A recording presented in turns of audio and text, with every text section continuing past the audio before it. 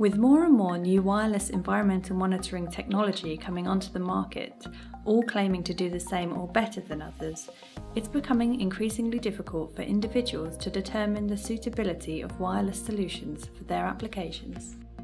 Wireless range differs dramatically between protocols such as Wi Fi, Zigbee, Bluetooth, and LoRa. But Hanwell's radio protocol remains unrivaled, reaching far beyond these and we're prepared to put it to the test. In this video, we're on site at the Hanwell offices, where Hanwell Service Manager Jim Ryan will demonstrate a signal strength test in the field. Hi, I'm Jim Ryan, Hanwell Service Manager. Today I'm going to walk you through a, a quick example of how we do a signal strength test. Uh, this will show you how far our products really transmit in a typical environment. This is our signal strength meter that we use for signal strength testing. Um, as you can see, there's a green LED uh, which lights up when the specified ID uh, has been received. Uh, you can also see a uh, number indicator. Uh, this is in, reference to the signal strength and the number should remain over 90 for a good signal. For a simple test, I'm going to put the sensor, uh, this sensor in the fridge. Shut the door. Check the signal strength on the signal strength meter. You can see it's at 207, which is uh, nearly full strength. Uh, but to show you in a, a typical environment, I'm going to shut the doors, walk to the end of the office uh, and take a signal uh, strength test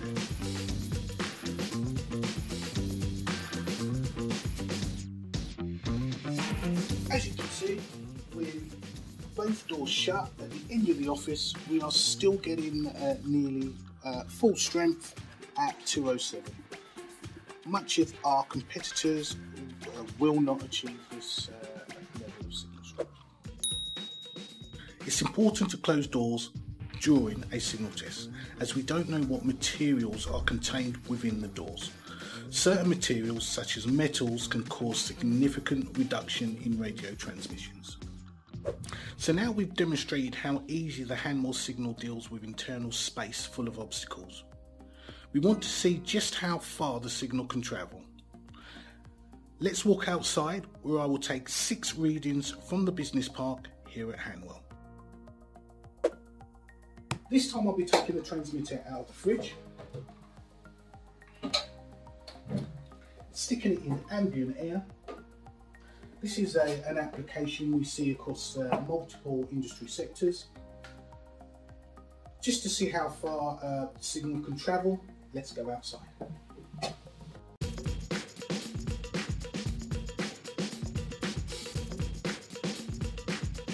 Sensor is placed in the room above.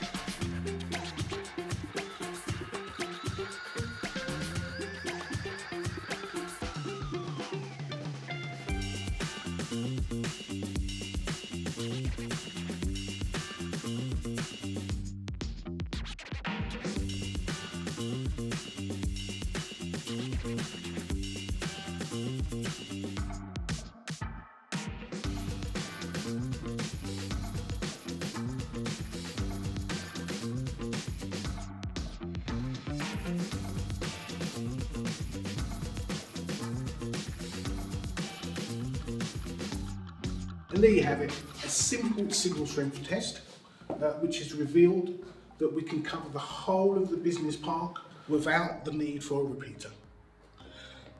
One repeater from the top left of the business park would double the coverage for larger sites. Our competitors would need a number of repeaters to cover the same uh, area, uh, which will end up costing you a lot more money.